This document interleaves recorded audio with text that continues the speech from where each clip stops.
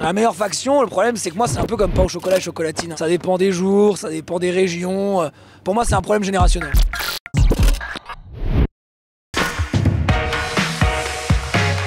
J'aimerais bien qu'ils suppriment les torrents de et que Uther euh, redevienne un élément central de l'histoire et gentil et que tout le monde soit d'accord. Je sais que Uther est foutu mais euh, j'y crois encore. Ah non non, moi s'il faut tuer Uther j'arrête tout. Ce que je veux, c'est la justice.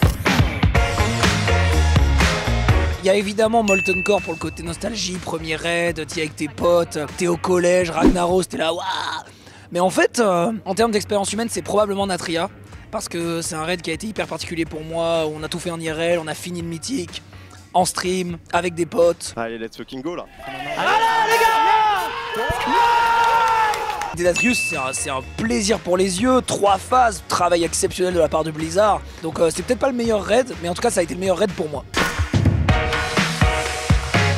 J'irai euh, visiter Mulgore ou Nagrand, les étendues euh, comme ça, sauvages. euh. Le problème de Nagrand, c'est qu'il faut voler un petit peu vite fait pour aller dans toutes les îles.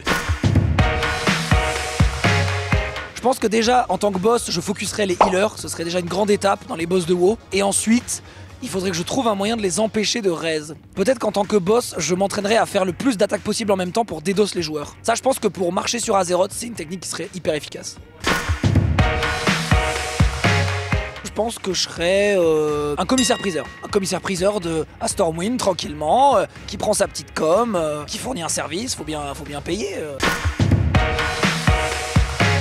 J'ai vraiment hâte de voir le fight du geôlier comme plein de gens je pense qui ont joué à Shadowland. Je pense que le boss va être incroyable. Blizzard a atteint un niveau de level design et de cara design jamais vu auparavant selon moi. Inventer des nouveaux méchants c'est toujours très très dur pour un jeu et je trouve que le geôlier c'est hyper réussi. Même s'il a été transformé en cube dans beaucoup de des cinématiques que j'ai vues de Shadowland euh, suite au bug, mais, euh, mais quand ce n'est pas un bug ça va.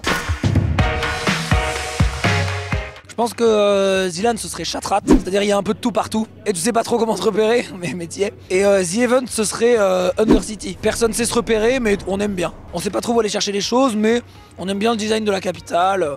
Par contre, on peut pas y aller souvent, mais une fois de temps en temps, on y va, on est content.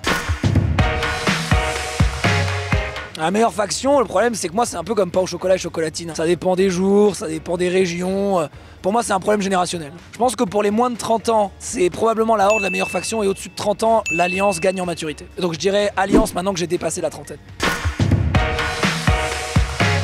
Sans hésiter le mage, la téléportation, invocation de bouffe et d'eau, le chip, pour, les rageux.